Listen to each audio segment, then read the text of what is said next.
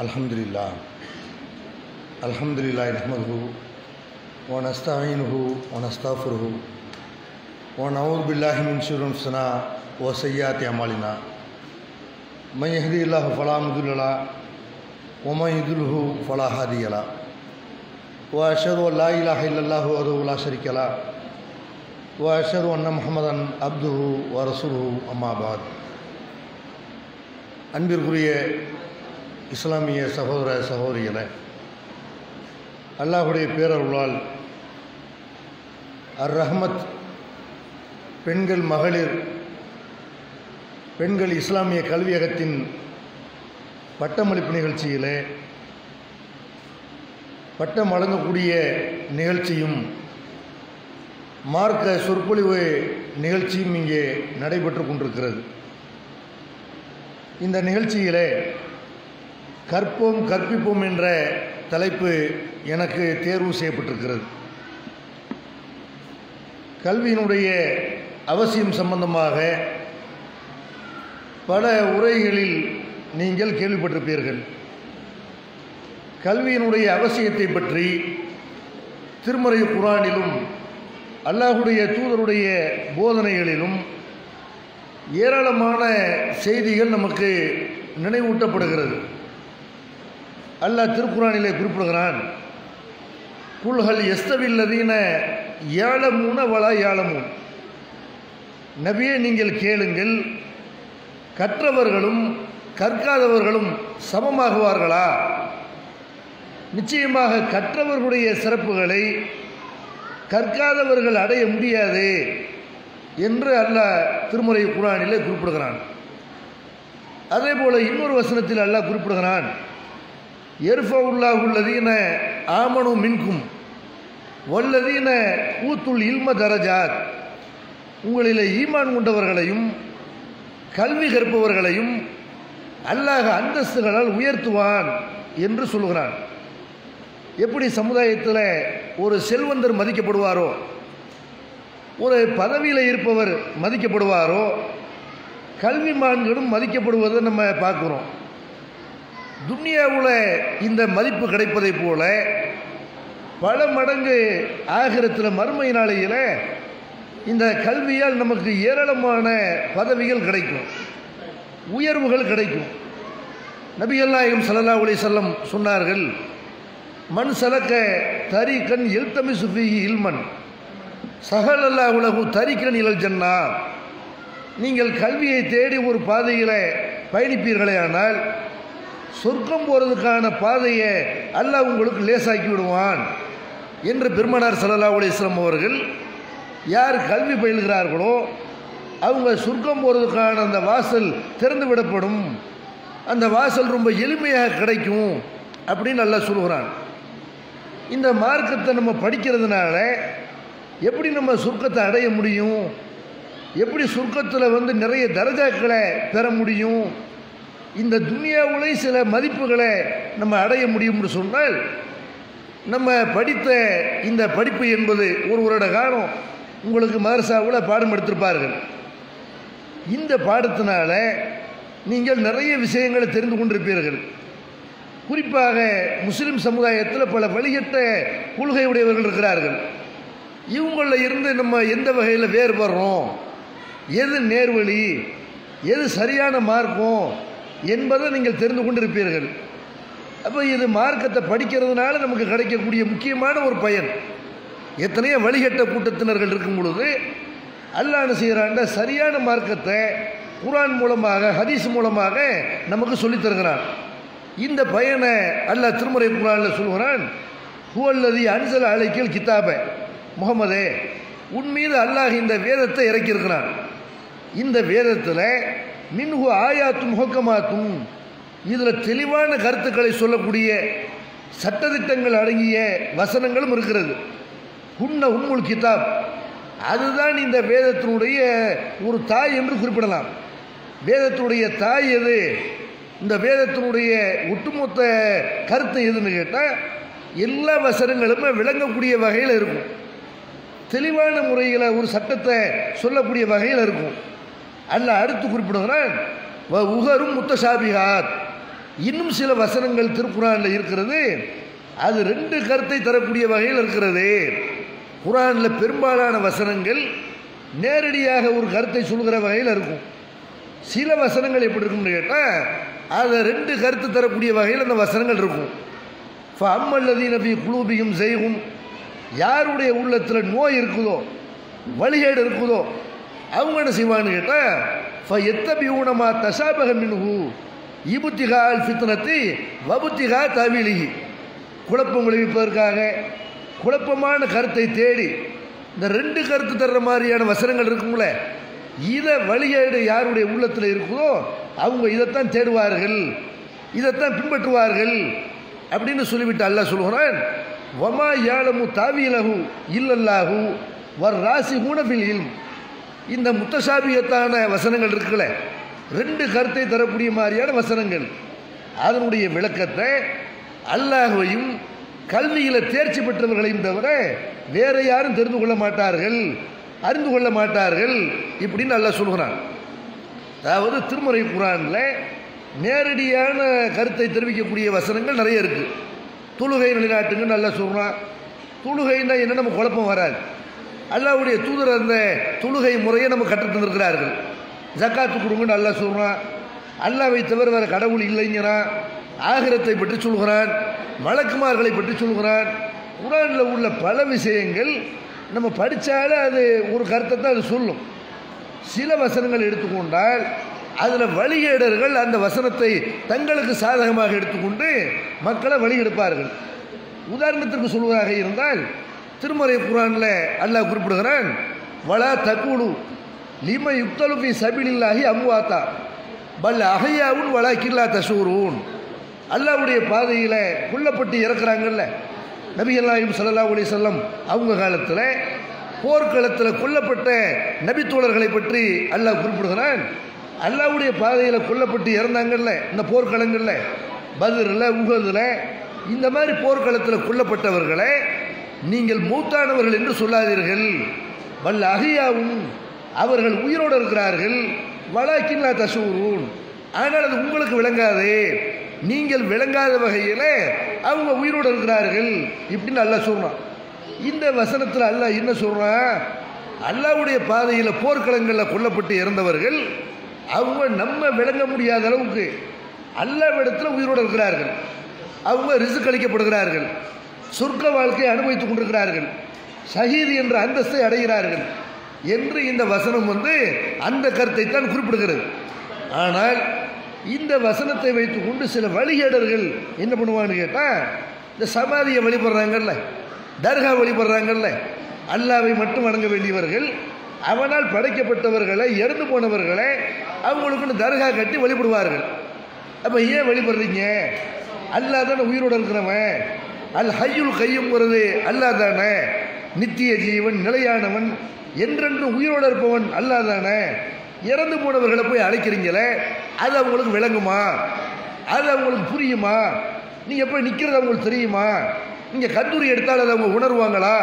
இப்படின்னு நம்ம கேட்டால் இந்த சூறார் இந்த வசனம் இருக்குல்ல இதை எடுத்துக்கொண்டு அவங்க சொல்லுவாங்க அல்லாவை குரானில் சொல்கிறானே அல்லாவுடைய பாதையில் யார் கொல்லப்பட்டு இறந்து விட்டார்களோ அவங்கள இறந்தவங்கன்னு சொல்லாதீங்க. அவங்க உயிரோடு இருக்கிறாங்கன்னு நல்லா சொல்கிறான்ல அதனால இந்த சகிதுகள் இந்த அவுளியாக்கள் மகான்கள்லாம் உயிரோடு இருக்கிறாங்க. இப்படி குரானை சொல்லுது என்று குரா குரானுடைய ஒரு வசனத்தை வைத்து நாங்கள் தர்காவுக்கு போகிறது சரிதான். அவங்க உயிரோடு இருக்கிறாங்கன்ட்டு அல்லாவே சொல்லிட்டா இப்படின்னு என்ன செய்கிறாங்க ஒரு குழப்பமான கருத்தை. உயிரோடு இருக்கிறவர்கள் ஆர்வம் ஊட்டுறதுக்காக வேண்டி அல்லாஹ் வந்து அந்த வசனத்தை இறக்குறான். நீங்கள் அழிஞ்சிட்டாங்கன்னு நினைக்காதீங்க. அவங்க அல்லாட்ட நல்ல நிலைமையில் இருக்கிறார்கள். இந்த கொல்லப்பட்டவர்கள் பதில் போரில் உகது போரில் கொல்லப்பட்டவர்கள்லாம் அல்லாவிடத்தில் உயிரோடு இருக்கிறார்கள் அவங்கள பற்றி புகழ்ந்து அல்ல சொல்லக்கூடிய வசனத்தை இருக்கக்கூடிய மக்களுக்கு ஆர்வமூட்டக்கூடிய வகையில் அல்ல சொல்லக்கூடிய வசனத்தை வழிகட்டவர்கள் தங்களுக்கு சாதகமாக பயன்படுத்துகிறாங்கல்ல அப்போ இப்படித்தான் குரானில் உள்ள ஒவ்வொரு வசனத்தையும் வழிகேடர்கள் என்ன செய்வாங்கன்னா தங்களுக்கு சாதகமாக பயன்படுத்துவாங்க. அப்போ இந்த வசனத்துடைய அர்த்தம் யாருக்கு தெரியும்? அல்லாஹ் சொல்கிறான் வமா ஏலமு தாவியலகு இல்லல்லாகு வர் ராசி குணபில் இல்ம். யார் கல்வியில் தேர்ச்சி பெற்றார்களோ அவர்கள் அதே மாதிரி அவங்களுக்கு முன்னாடி அல்லாஹ் அல்லாவுக்கு இதனுடைய விளக்கம் தெரியும். கல்வியில் தேர்ச்சி பெற்றவர்களுக்கு தெரியும். இப்படி நல்லா என்ன செய்யறான்? நீங்கள் மார்க்கத்தை முறையாக படித்தால்தான் முத்தசாபியத்தான வசனங்களுடைய பொருள் ரெண்டு கருத்தை தர்றாங்கல்ல. நீங்கள் ஒட்டுமொத்த குரானை படித்தா தான் இந்த வசனம் இந்த கருத்தை தான் சொல்லுது. இந்த வழிகேடர்களுக்கு அது ஆதரவாக இல்லை என்று அதுக்கான விளக்கத்தை புரிந்து கொள்ள முடியும். இதை வந்து அல்ல செய்கிறான் செய்யறான்? திருமறை குரான்ல வழிகேட்டிலிருந்து நேர் வழியை பிரித்தறியக்கூடியவர்கள் யாருன்னு கேட்டால் கல்வியாளர்கள் அரைகுறையாக இருக்கக்கூடியவர்கள். வெறுமனை வந்து முடியாக்கத்தை மட்டும் சில பேர் என்ன செய்வாங்க? சில பேருக்கு அரபியை வாசிக்க தெரியாது. அவனுக்கு வார்த்தைக்கு வார்த்தை அர்த்தமும் தெரியாது ஹதீஸுகளும் தெரியாது. ஹதீஸ் கலையும் தெரியாது மதுகபுண்டா என்னென்று அதுவும் தெரியாது. ஒன்றும் தெரியாமல் என்ன செய்வான் மதுகபை நியாயப்படுத்தி கொண்டு ஹதீஸ் கலையை கிண்டடித்து கொண்டு திருக்குறானுக்கு தவறான விளக்கம் சொல்லி கொண்டு மக்களை வந்து வெளியேற்றின் பக்கம் கொண்டு செல்கிறத பல பேரை நம்ம பார்க்குறோம். அப்போ அல்லாஹ் குரானில் என்ன செய்கிறான்டா கல்வியாளர்களுக்கு மட்டும்தான் சரியான விளக்கம் தெரியும். குரானுடைய சரியான விளக்கம் படித்தவர்களுக்கு தான் தெரியும் இப்படின்னு நல்லா சொல்கிறான் அதே மாதிரி திருமறை குரானில் நீங்கள் பார்ப்பீர்களே என்றால் பல இடங்கள் அல்ல என்ன செய்கிறான்னா இந்த குரானை இவர்கள் சிந்திக்க மாட்டார்களா? இப்படிங்கிற அர்த்தத்தில் பல இடத்துல அல்ல குறிப்பிடுகிறான். அவளாயத்த தப்பருணல் குரான் அவர்கள் இந்த குரானை சிந்திக்க மாட்டார்களா? அல்லது அவங்களுடைய இதயத்தில் அம்மாளா குழுவின் அக்வாலுகா அல்லது அவங்களுடைய இதயத்தில் பூட்டு கிடக்குதா? இப்படி நல்லா என்ன செய்யணும் குரானை சிந்திச்சு பாருங்கப்பா. திறந்த மனதோட குரானை சிந்திச்சு பாருங்க. இப்படி நல்லா சொல்கிறான்.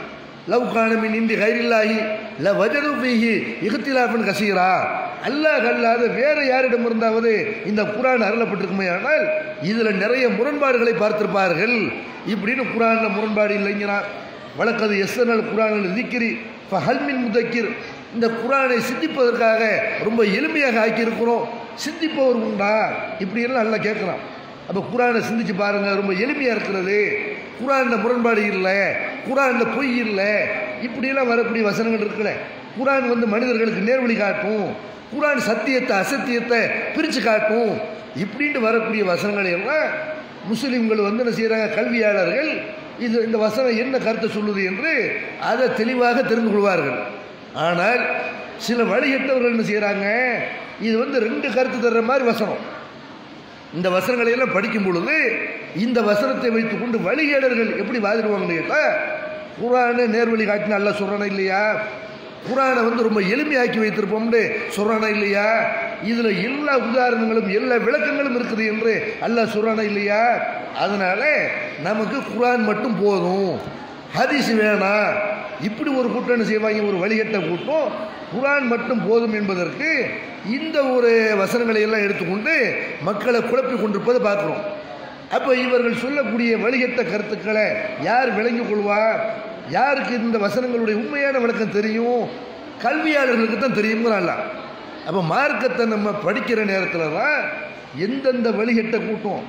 வசனங்களை திருமறை குரானுடைய வசனங்களை அல்லாவுடைய தூதருடைய ஹரிசுகளை எப்படியெல்லாம் வளைக்கிறார்கள்? அதனுடைய உண்மையான விளக்கம் என்ன? இது மார்க்கத்தை படிக்கக்கூடியவர்கள் குரான ஹதீஸை படிக்கக்கூடியவர்களுக்கு தான் இந்த ஒரு நாலேஜ் கிடைக்கும். இதை வந்து அல்ல செய்கிறான் நேர்வழி இது வழிகேடு இது என்று கல்வியாளர்களால் தான் புரிஞ்சிக்கிற முடியும். இப்படின்னு நல்லா சொல்லுவேன் அதே மாதிரி பார்க்குறேன் இன்றைக்கு சில பேர் என்ன செய்கிறாங்க திருமுறை குரானுடைய வசனத்தை வைத்து மக்களை தவறான பாதையின் பக்கம் அழைக்கிறார்கள். அல்லாஹ் குரானில் சொல்லுகிறான் இனில் ஹுக்குமும் இல்லாடி இல்லா சட்டம் ஏற்றக்கூடிய அதிகாரம் அல்லாவுக்கு தவிர யாருக்கும் கிடையாது. இப்படின்னு நல்லா சொல்கிறான் சட்டம் இயற்றக்கூடிய அதிகாரம் அல்லாவுக்கு தவிர யாரும் இல்லை யாருக்கும் இல்லை என்று சொன்னால் நம்ம மார்க்கம் என்ற பெயரில் எதை நடைமுறைப்படுத்துகிறதா இருந்தாலும் அல்லாவுக்கு தான் அந்த மார்க்க விஷயத்தை தீர்மானிக்கக்கூடிய அதிகாரம் இருக்குது ஒரு தொழுகையை உருவாக்குவதாக இருந்தால் அல்லாத நமக்கு அந்த தொழுகையை சொல்லுவான். ஒரு நோன்பு ஜக்காத்து ஹஜ்ஜு அதில் உள்ள கிளை விஷயங்கள் இது எல்லாமே இதை இப்படித்தான் செய்ய வேண்டும் என்று நமக்கு சட்டம் போடுறது யாரு? அல்லாதான் எப்படி கல்யாணம் பண்ணணும் எப்படி நம்ம பொருளாதாரத்தை திரட்டணும்? பொருளாதாரத்தில் எந்த முறையெல்லாம் தப்பு? இப்படின்னு பல விஷயங்களை எதை படிக்கணும் எதை படிக்கக்கூடாது என்று இந்த சட்டங்களை எல்லாம் எல்லாம் செய்யறான் நமக்கு வகுத்து தந்திருக்கிறான். திருமறை குரான் மூலமாக அல்லாவுடைய தூதருடைய போதனைகள் மூலமாக நமக்கு பல்வேறு மார்க்க சட்டங்கள் எல்லாம் வழங்கியிருக்கிறான். இதை விட்டுட்டு வேற எங்கேயும் போயிடாத இமாம்கள் பின்னாடி போயிடாத ஆலிம் சாக்கள் சொன்னாங்கன்னு கண்ணு மூடி போயிடாத முன்னோர்கள்னு போயிடாத இப்படி நல்லா என்ன சட்டம் சட்டமேற்றக்கூடிய அதிகாரம் எனக்கு மட்டும்தான் இருக்குன்னு சொல்கிறான் இந்த வசனத்தை எந்த வசனம் மதுகபு இமாம்களுக்கு மார்க்கத்துடைய அதிகாரம் இல்லைன்னு சொல்லுதோம். எந்த வசனம்? முன்னோர்களுக்கு மார்க்கம்ங்கிற பேரில் எதை உருவாக்குற அதிகாரம் இல்லைன்னு சொல்லுதோம். உலமாக்களுக்கு அந்த அதிகாரம் இல்லைன்னு சொல்லுதோம். அந்த வசனத்தை மக்கள்கிட்ட வாசித்து கொண்டு ஒரு கூட்டணி செய்கிறாங்க மதுகப்பை ஃபாலோ பண்ணி கொண்டிருக்கிறார்கள். மதுஹபு அறிஞர்களை ஃபாலோ பண்ணி கொண்டு சட்டம் இயற்றக்கூடிய அதிகாரத்தை மதுஹபு இமாம்கள் கொடுத்து விட்டு இந்த வசனத்துக்கு அவங்க விளக்கம் சொல்கிறாங்க நம்ம இஸ்லாமிய ஆட்சிக்கு தான் கட்டுப்படணும். நம்ம நாட்டில் இந்தியாவில் இந்த ஜனநாயக ஆட்சி இருக்குதுல்ல இதை நம்ம பின்பற்றக்கூடாது. இதில் வந்து நம்ம என்ன செய்யக்கூடாது? ஓட்டு போட்டு ஒரு தலைவனை உண்டாக்கக்கூடாது. இப்படி இந்த வசனம் இந்த கருத்தை சொல்வதாக மக்கள்கிட்ட சொல்லி அமைதியாக இருக்கிற ஒரு நாட்டில் இளைஞர்களை வேறு மாதிரி மூளை செலவு சீரணிக்கிறார்கள். ஆனால் இவங்க உண்மையில் தங்களுடைய அந்த சொல்லில் தங்களுடைய கருத்தில் உண்மையாளர்களாக நிலையானவர்களாக இருப்பார்களான்னு கேட்டால் உலகத்தில் எத்தனையோ விஷயங்களை ஜனநாயக சட்டத்துக்கு உட்பட்டு அவங்க நடைமுறைப்படுத்துவார்கள். இப்போ ஜனநாயகத்தை கட்டுப்படக்கூடாதுன்னு சொன்னால் வெளிநாட்டுக்கு உங்கள் வேலைக்கு போகணும். அப்போ வெளிநாட்டுக்கு வேலைக்கு போகிறவங்க என்ன செய்வாங்க? வேலைக்கு கூட போகலை. ஒரு ஹஜ் உமராவை நிறைவேற்ற போகணும். அப்போ என்ன பண்ணுறது இந்த நாட்டை ஆட்சி செய்யக்கூடியவர்கள்ட்ட தான் மோடி வகையராக்கிட்ட தான் போய் பாஸ்போர்ட்டுக்கு போய் நிற்கணும் விசாவுக்கு அவங்க தான் போய் நிற்கணும் அப்போ நான் மோடிக்கு கட்டுப்பட மாட்டேன். நான் வந்து இந்த இன்றைக்கு உள்ள இந்தியாவில் உள்ள ஆட்சி கட்டுப்பட மாட்டேன்னு சொன்னால் என்ன பண்ணேன்னு இந்த நான் ஆட்சி செய்கிறதுக்கு நீ யார் அனுமதி கொடுக்குறது? மோடி வந்து எனக்கு வந்து என்ன கிடையாது? பிரதமர் கிடையாது. எனக்கு ஏதோ ஒரு நாட்டில் இருக்கிற ஒரு கலிப்பா தான் பிரதமர். அதனால் அவர்கிட்ட பாஸ்போர்ட் வாங்கிட்டு அவர்கிட்ட விசா வாங்கிட்டு நான் என்ன செய்வேன்? வெளிநாட்டுக்கு போவேன். இப்படின்னு சொல்ல முடியுமா? அதில் மட்டும் போய் என்ன செய்கிறாங்க போய் போலீஸ் ஸ்டேஷனில் போய் நிற்கிறாங்க அதில் மட்டும் போய் அரசாங்கத்தை போய் அணுகிறார்கள் அப்போ அரசாங்கம் தரக்கூடிய ரூபா நோட்டு இருக்குதுல்ல இதை பயன்படுத்துகிறார்கள். நாங்கள் இந்த நாட்டு கட்டுப்பட மாட்டோம்னு சொன்னால் ஜனநாயகத்தை கட்டுப்படக்கூடாது அல்லாவுடைய சட்டத்துக்கு தான் கட்டுப்படணும்னு சொன்னால் நம்ம பயன்படுத்துகிற ரூபா நோட்டு என்ன? இந்த ரூபா நோட்டு என்பது இங்கே உள்ள ஆட்சியாளர்கள் கையெழுத்து போட்டு கொடுக்குறாங்கல்ல. இங்கே உள்ள குடியரசுத் தலைவர் என்ன செய்கிறாரு? இங்கே உள்ள கவர்னர் வந்து கையெழுத்து போடுறாரு. இந்த ரூபா நோட்டு வந்து நூறுரூவா நோட்டுன்னு சொன்னால் இது வந்து இது வாங்கி கொண்டு என்ன செய்யலாம்? நூறுரூவாய்க்கு தகுதியான பொருள்களை நீங்கள் கொடுக்கலாம். அப்படின்னு ரிசர்வ் வங்கியினுடைய கவர்னர் கையெழுத்து போட்டு கொடுத்து அதைத்தான் ரூபா நோட்டு நீங்கள் பயன்படுத்துறீங்க. அப்போ இந்த ரூபா நோட்டுங்கிற சவுதியிலேருந்து வந்ததா?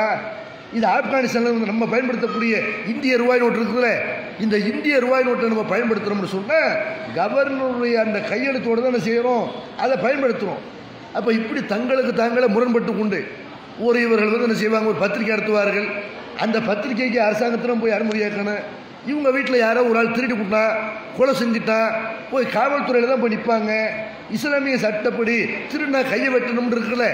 அப்போ இவங்க போய் அதை நடைமுறைப்படுத்துவாங்களா? மக்கள்கிட்ட என்ன செய்கிறாங்கன்னு கேட்டால் இது ஓட்டு போடக்கூடாது ஓட்டு போடுற சிற்கு என்றெல்லாம் சொல்லி கொண்டு ஒரு கூட்டம் இந்த குரான் வசனத்தை தவறாக சித்தரிக்கிறாங்க பாருங்க.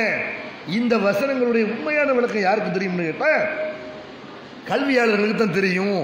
குரானை நுனிப்புள் மேயக்கூடாது. மேம்போக்காக குரான் என்ன செய்யக்கூடாது? படித்து விட்டு அதை அவங்க அதனுடைய விளக்கத்தை நீங்களாக புரிந்து கொள்ளக்கூடாது. கல்வியாளர்கள் தான் இதை தெரிந்து கொள்வார்கள் என்று இப்படி திருமறை குரானில் அல்ல செய்கிறான் வழிகட்டவர்களுடைய அந்த குழுவைகளை கல்வியாளர்களால் தான் புரிந்து கொள்ள முடியும். குரானுடைய விளக்கத்தை கல்வியாளர்கள் தான் தெரிந்து கொள்ள முடியும் என்று இப்படி ஏராளமான வசனங்கள் குரானில் இருக்கிறது. அப்போ அந்த ஒரு பிரயோஜனம் அந்த ஒரு பயன் வந்து நீங்கள் படிக்கக்கூடிய மார்க்க கல்வியினால் கிடைக்கிது. இந்த மார்க்க கல்வி இருக்கிற மதரசாக்களில் நாங்கள் தரக்கூடிய மார்க்க கல்வி இருக்குதுல்ல ஒரு வருஷமோ இல்லை மூணு வருஷமோ மதரசாவில் ஒரு அஞ்சு வருஷமோ ஏழு வருஷமோ தரக்கூடிய இந்த மார்க்க கல்வி என்பது எல்லாத்தையும் படித்து முடிச்சுட்டாங்கன்றக்காக தரக்கூடிய ஒரு சர்டிஃபிகேட் கிடையாது. இங்கே சர்ட் சர்டிஃபிகேட் தர்றாங்கல்ல. சன்னது கொடுக்குறாங்கல்ல. சன்னது வாங்கக்கூடிய மாணவிகள் இந்த சன்னதை நீங்கள் எப்படி நினைக்கணும்? இது ஒரு ஆரம்ப பாடம். நமக்கு வந்து என்ன செய்கிறாங்க ஒரு ஆணை அவனை சொல்லி தந்துருக்கிறார்கள். அவ்வளவுதான். இதுக்கு மேலே நம்ம படிக்க வேண்டிய நிறைய இருக்கிறது. கல்வியை பொறுத்த வரைக்கும் இது ஒரு கடல் மாதிரி. நம்ம எப்போவுமே நம்முடைய உள்ளத்தில் என்ன என்ன இருக்கும்னு கேட்டால் நம்ம ஒரு மாணவன்கிற என்ன இருக்கணும். ஏன்னா இந்த மாணவ உலகத்தில் எல்லாருமே அப்படி தான் அல்லாஹ்வை தவிர அனைத்தையும் தெரிந்தவர்கள் உலகத்தில் யாருமே கிடையாது. திருமறை குரால் அல்லாஹ் சொல்கிறான் ஓ ஃபவுக்க குல்லிதி இல்மி நலி ஒவ்வொரு அறிஞனுக்கு மேலே ஒரு அறிஞன் இருக்கிறான். ஒவ்வொரு அறிந்தவனுக்கு மேலே ஒரு அறிந்தவன் இருக்கிறான். இப்படி நல்லா என்ன செய்கிறான் நான் மட்டும்தான் அறிவாளி நினைக்காத. உன்னைய விட விவரமானவர்கள் இருக்கிறார்கள். என்று பொதுவாக அல்ல என்ன செய்கிறான் நீ எவ்வளோ பெரிய அறிவுஜீவியாக இருந்தாலும் சரி. உன்னைய பொறுத்த வரைக்கும் நீ யார்? நீ இன்னும் நிறைய படிக்கணும். இன்னும் நிறைய மூசா வரலாறு கூட நமக்கு தெரியும். நீங்கள் படிச்சிருப்பீங்க திருமறை குரான்லையும் அல்லாவுடைய தூதருடைய போதனைகளில் நமக்கு சொல்லப்படுது. மூசா நபி இடத்துல அவங்க காலத்தில் வந்த மக்கள் வந்து என்ன செய்கிறாங்க அவங்க வந்து கேட்குறாங்க மண் ஆலமுன் நாஸ். மூசாவே மனிதர்களில் அதிகம் தெரிஞ்சவர் யார்? ரொம்ப விவரமானவர் யார்? அப்படின்ன உடனே அல்லா தான் எல்லாம் தெரிஞ்சவொடனே அவர் சொல்லணும். ஆனால் மூசா நபி என்ன பண்ணுறாங்க நம்ம தான்ட்டாங்க நம்ம தான் நம்மளை விட யார் அதிகம் தெரிஞ்சவர்? ஏன்னா அவங்க ஒரு நபி தானே. மற்ற மக்களை விட அவங்களுக்கு கூடுதலான நாலேஜ் இருக்கும். அதனால் அந்த அடிப்பில் நினைஞ்சிட்டாங்க நம்ம தான் விவரம் தெரிஞ்சான்னு சொல்லிட்டாங்க. இப்போ அல்ல என்ன செய்கிறான் ஓ நீ தான் இல்லைன்னு தெரிஞ்சாளா? மனிதர்கள்லேயே நீ தான் விவரமான ஆண்டு நீ நினச்சிருக்கிறியா? உன்னையே விட விவரமான ஒரு ஆள் இருக்கிறாரு. இப்படின்னு ஹிலரி என்ற ஒரு இறை தூதர்கிட்ட அல்ல என்ன செய்கிறான் கடல் ஓரத்தில் அவர் ஏதோ ஒரு இடத்துல இருக்கிறார். அவரை தேடி போய் என்ன செய்யி அவர்கிட்ட இருந்து நிறைய மார்க்க விஷயத்தை படிச்சுக்க. இப்படின்னு ஹிலர் அலிஸ்லாம் அவங்கள்ட்ட அல்லா மூசா அனுப்பி அனுப்பி வைக்கலாம். அவங்கள்ட்ட போய் நிறைய விஷயத்தை ஒன்று என்ன செய்கிறாரு இவருக்கு தெரியாத பல விஷயங்களை ஹிலர் அலிஸ்லாம் சொல்லித்தர்றாங்க சொல்லித் தர்றாங்க. அப்படி சொல்லி தரும்போது ஹிலர் அலி இஸ்லாம் அவங்க வந்து என்ன செய்கிறாங்கன்னா ஒரு கப்பலில் ஒரு மரப்பலகையில் அவங்க பயணம் பண்ணுறாங்க அப்படி பயணம் பண்ணும் பொழுது கடலில் அவங்க அந்த கடலில் பயணம் பண்ணக்கூடிய நேரத்தில் ஒரு பறவை வந்து உட்காருது. உட்கார்ந்து அந்த கடல்ல இருந்து ஒரு சொட்டு நீரை குடிக்குது. இப்போ கிளிகலேஸ்லாம் கேட்குறாங்க இந்த பறவை குடிச்சிச்சுல இந்த குருவி குடிச்சிச்சே இது எவ்வளோ குடிச்சிருக்கும்? இவ்வளவு தான் அல்ல உனக்கும் எனக்கும் கொடுத்த அறிவு. கல்வி என்பது இந்த கடல் மாதிரி எடுத்துக்கொண்டால் நீங்களும் நாங்களும் தெரிஞ்சுக்கிட்ட விஷயம் எவ்வளவு? இந்த குருவி எவ்வளோ குடிச்சிச்சோ இந்த பறவை எவ்வளோ குடிச்சிச்சோ எவ்வளோ தான் நமக்கு தெரியும். இப்படின்னு அந்த மூசா நபிக்கு என்ன செய்கிறாங்க ஹில்லர் அலிஸ்லாம் சொல்கிறாங்க கடல் மாதிரி இருக்கிற கல்வியில் ஒரு குருவி குடிக்கிற அளவுக்கு குடிச்சு போட்டு மனுஷன்ட பெருமை இருக்கலாமா? நான் தான் விவரம் தெரிஞ்சாலுண்டு அப்படி ஒரு மமதை இருக்கலாமா? இப்படிங்கிற ஒரு பாடத்தை செய்கிறாங்க ஹில்லர் அலிஸ்லாம் வந்து மூசா நபிக்கு சொல்லித்தர்றதை நம்ம திருமறை குரானில் பார்க்குறோம். அப்போ இந்த ஒரு உணர்வு நம்ம எவ்வளவு உயரமான இடத்துக்கு போனாலும் சரி எவ்வளவு சிறந்த பேச்சாளராக ஆனாலும் சரி நம்ம வந்து நிறைய படிக்க வேண்டியிருக்கிறது. யாரையும் என்ன செய்யக்கூடாது? மட்டமாக நினைக்கக்கூடாது. ஏன்னா அந்த கல்வி என்பது இது ஒரு வகையான மமதையை ஏற்படுத்தும். யார் படித்திருக்கிறார்களோ மார்க்கத்தை தெரிந்திருக்கிறார்களோ அவங்களுக்கு சில நேரத்தில் அவங்களுக்கு பணிவு தான் வரணும். ஆனால் சில நேரத்தில் செய்யறது? பெருமை வருது. அதனால தான் நீங்கள் பார்க்கலாம் சில ஆள்களை சபையில் தனியாக பார்த்து சந்திக்கும் பொழுது பேசும் பொழுது எல்லாத்தையும் நல்லா பேசுவார்கள். ஒரு சபையில் போய் பேசுனீங்கன்னா பதில் சொல்ல மாட்டாங்க. ஒரு கை கொடுக்க மாட்டாங்க. சபையில் இவனுக்கு போய் நம்ம கை கொடுத்தோம்டா. இவனுக்கு போய் சலாத்துக்கு பதில் சொன்னோம்டா. இவனை பார்த்து சிரித்தோம்டா நம்ம கௌரவம் என்ன வருது? என்று மார்க்கத்தை படித்த உடனே அவங்களுக்கு என்ன என்ன வருதுன்னு கேட்டால் நம்ம பெரிய பேச்சாளர் நம்ம பெரிய ஆளுமா நம்ம பெரிய ஆளும் சார் இப்படிங்கிற மாதிரியான ஒரு எண்ணம் வருது. அல்ல அந்த எண்ணத்தை வந்து மண்டையில் குற்ற விதமாகத்தான் என்ன செய்யணும் மூசாவே எல்லாம் தெரிஞ்சவர் கிடையாது. மூசாவுக்கு மேலே கிளர் இருந்தார்ல கிளருக்கு மேலே வேற ஒருத்தர் இருப்பார். ஒவ்வொரு அறிவாளிக்கு மேலேயும் ஒரு அறிவாளி இருக்கிறான். ஒரு கதையை கூட சொல்லுவாங்க இந்த தாமஸ் ஆல்வா எடிசனை பற்றி என்ன செய்வாங்க? அவருடைய வரலாற்றில் நடந்த ஒரு சம்பவத்தை சொல்லுவாங்க. அமெரிக்காவில் பிறந்த தாமஸ் ஆல்வா எடிசன்கிறவர் ரெண்டாயிரத்துக்கும் மேற்பட்ட கண்டுபிடிப்புகளை உலகத்துக்கு கொடுத்த ஒரு அறிவாளி. அவர் வந்து சில கண்டுபிடிப்புகளை கண்டிக்கும் கண்டுபிடிக்கும் பொழுது அவர் தனியாக ரூமில் உட்கார்ந்து ஆய்வு செஞ்சுட்டு இருப்பாராம். அங்கே உட்கார்ந்து படிச்சுக்கிட்டு சிந்திச்சுக்கிட்டு ஒரு ஏதாவது ஒன்று கண்டுபிடிச்சிக்கன்னு செய்வார்? தனி அறையில் அவர் இருப்பார். இப்போ அவருடைய அறை அறைக்குள்ளே யாரும் விட மாட்டார். அப்படி அறைக்குள்ளே இருக்கக்கூடியவர் அவர் என்ன பண்ணுறாருன்னா இந்த தீபாயை மட்டும் உள்ளே விடுவாராம். டீ கொண்டு வருவான்ல. அவனை மட்டும் உள்ளே வர்றக்காண்டி அப்பப்போ அனுமதிப்பார். அதே மாதிரி இந்த அவர் சில பூனைகளை வளர்த்துருக்கிறாரு.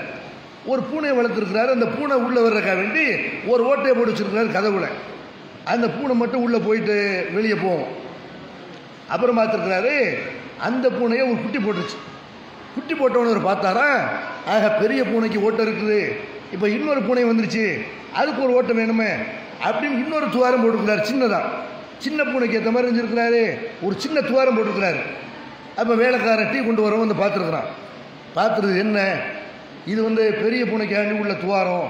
இது சின்ன பூனைக்குன்னு உள்ள துவாரம். அப்படின்ன ஒன்று அவன் கேட்டானா நீங்கள் இவ்வளோ பெரிய அறிவாளின்னு சொல்கிறீங்களே ஏன் இந்த பெரிய ஓட்டை வழியாகவே சின்ன பூனை போயிடாதா எதுக்கு இதுக்கு ஒரு தனி ஓட்டையை போட்டீங்க? இப்படின்ன ஒன்று ஆக இப்படி ஒன்று இருக்குதோ நினச்சாரான் அப்போ ஒரு பெரிய ஒரு அறிவாளிக்கு ரெண்டாயிரத்துக்கும் மேற்பட்ட கண்டுபிடிப்புகளை உலகத்துக்கு கொடுத்தவனுக்கு இந்த சின்ன விவரம் தெரியல பாருங்க. இப்படித்தான் அல்ல எல்லாரும் வச்சிருக்கிறான். எவ்வளோ பெரிய இடத்துல நம்ம இருந்தாலும் நமக்கு அற்பமான விஷயங்கள் கூட தெரியாமல் போயிடும். சுலைமான் இஸ்லாமுடைய வரலாறு கூட அல்ல சொல்கிறான்ல சுலைமா அலி இஸ்லாம் உங்கள்கிட்ட இருந்த பல பறவைகளில் ஹுதுஹுது என்ற ஒரு பறவை இருந்தது. அந்த பறவை திடீர்னு ஆளை காணாம் சுலைமா நபி கடுமையாக கோவப்படுறாங்க. அவங்க இறை தூதர் தான். அவங்க அவங்களுக்கு பறவைகளெல்லாம் நல்லா கட்டுப்படுத்தி கொடுத்துருந்தான். அவங்ககிட்ட சொல்லிட்டு தான் போகணும் சொல்லிட்டு தான் வரணும். இப்படி இருக்கும் பொழுது அந்த ஹுது ஹுது பறவை சொல்லாமல் போயிடுச்சு அது திரும்பி வந்து சரியான காரணத்தை சொல்லாவிட்டால் அதை வெட்டி துண்டாக்கிடுவேன் அப்படின்னு கோவத்தோடு இருக்கிறாங்க. அந்த பறவை திரும்பி வருது. வந்து சொல்லுது சுலைமானவர்களே நான் சபா என்ற ஒரு பகுதிக்கு போனேன். அங்கே சூரியனை வணங்கக்கூடிய ஒரு பெண் இருக்கிறாள். அவள் தான் நாங்கள் ஆட்சி எடுத்து கொண்டிருக்கிறாள். அவளும் அந்த ஊர் மக்களும் சூரியனை வணங்கிட்டு இருக்கிறாங்க. அது எப்படி சூரியனை வணங்குறது? அல்லாவை தானே வணங்கணும். அப்போ அல்லாவை வணங்காமல் உங்கள் சூரியனை வணங்குறாங்களே இவர்கள் அல்லாவுக்கு பயப்பட வேண்டாமா? என்றெல்லாம் அது வந்து என்ன செய்யுது?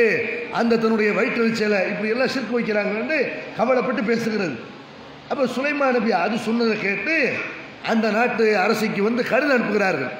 இன்னகுமின் சுலைமான் இன்னகு பிஸ்மில்லா ரஹ்மான் ரஹீம் அப்படின்னு செய்கிறாங்க சுலைமான் எழுதுகிறேன். நீங்கள் எல்லாம் இஸ்லாத்துக்கு வந்துருங்க அப்படின்ட்டு கடிதம் அனுப்புகிறாங்கல்ல அப்போ சுலைமா நபி அவர்கள்ட்ட இருந்த ஒரு சின்ன பறவை அது சுலைமா நபிக்கு ஒரு தகவலை சொல்லுது. நான் எவ்வளோ பெரிய அறிவாளி எனக்கு நீ பாடம் சொல்லி தர்றியா?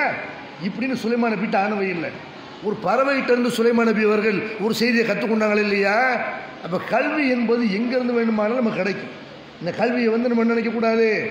நம்ம கேள்வி கேட்பதற்கு. ஒரு விஷயம் தெரியல. தெரியாத விஷயத்தை படிப்பதற்கு மற்றவர்கள்ட்ட கேள்வி கேட்பதற்கு இதுக்கு நம்ம வெக்கப்படக்கூடாது. காலம் முழுக்க நம்ம படிச்சுக்கிட்டு தான் இருக்கணும். ஒரு ஆணாவனா தான் இங்கே மறுசாக்கல்ல உங்களுக்கு அடிப்படை பாடம் தான் சொல்லி தந்திருக்காங்களே தவிர நீங்கள் படிக்க வேண்டிய விஷயம் நிறைய இருக்கிறது.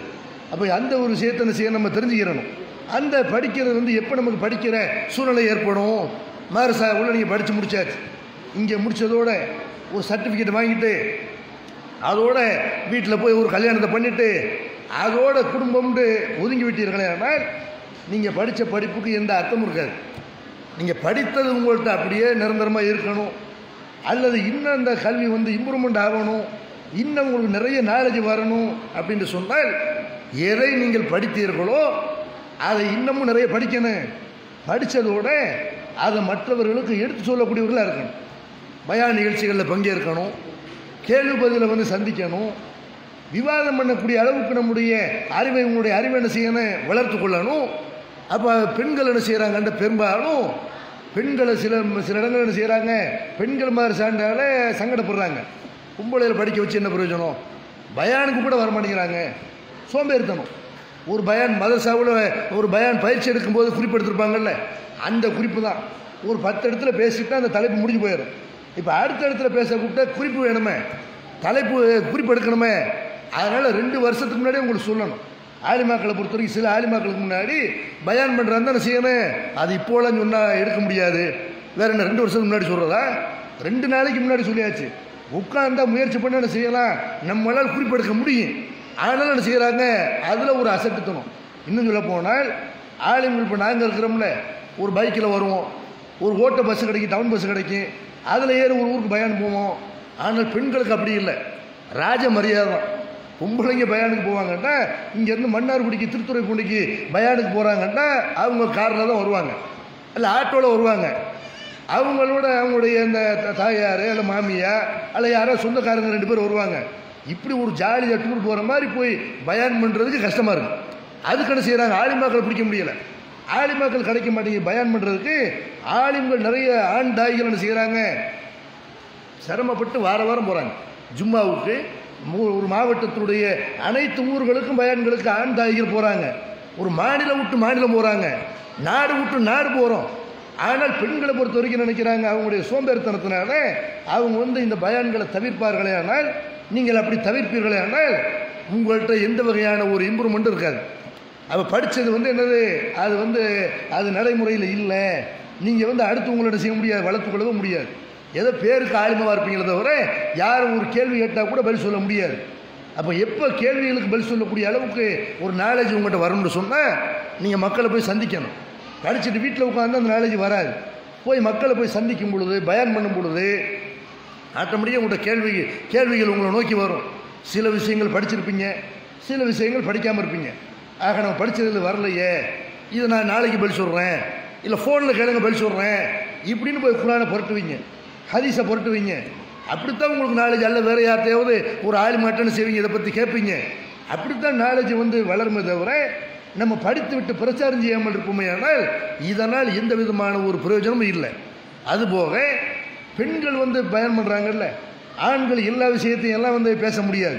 பெண்கள் பெண்கள் மத்தியில் இருக்கும் பொழுது ஆண்களுக்கு நாங்கள் வந்து ஒரு விஷயத்தை விளைக்கிறோம் பெண்கள் மட்டும் இருக்கக்கூடிய ஒரு சபையில் அல்லது ஆண்களும் பெண்களை கலந்துருக்கிற ஒரு சபையில் பெண்கள் சம்பந்தமான விஷயங்களை எல்லாம் ரொம்ப விளவாரி என்ன செய்ய முடியாது. ஆண்கள் வந்து பேச முடியாது. சில வார்த்தைகளை தவிர்த்து விட்டு மேலோட்டமாக பேசிட்டு போயிடுவோம் பெண்கள் பயான்கள் என்ன செய்யலாம்? பெண் ஆளுமாக்கள் தான் சில சட்டங்களை விளக்கி சொல்லலாம். மாத விளக்கு சட்டங்களாக இருக்கட்டும் அல்ல மற்ற சட்டங்களாக இருக்கட்டும் இஸ்லாமிய சட்டங்களாக இருக்கட்டும் இதெல்லாம் பெண் ஆளுமாக்களால் தான் என்ன செய்ய முடியும்? பெண்கள் மத்தியில் சொல்ல முடியும். இன்னைக்கு தப்புந்தவருமாக மதுகப்பு அடிப்படையில் மார்க்கத்தை விளங்கியிருக்கிறாங்க. குளிக்கிற சட்டமாக இருக்கட்டும் அல்ல தொழுகையினுடைய முறையாக இருக்கட்டும் எல்லாத்தையும் முஸ்லீம் சமுதாயம் எப்படி படித்து வச்சுருக்காங்கன்னு கேட்டால் அந்த காலத்தில் நம்முடைய முன்னோர்கள் என்ன சொல்லி கொடுத்தாங்களோ அதுதான் இன்னைக்கு வரைக்கும் தெரியும்.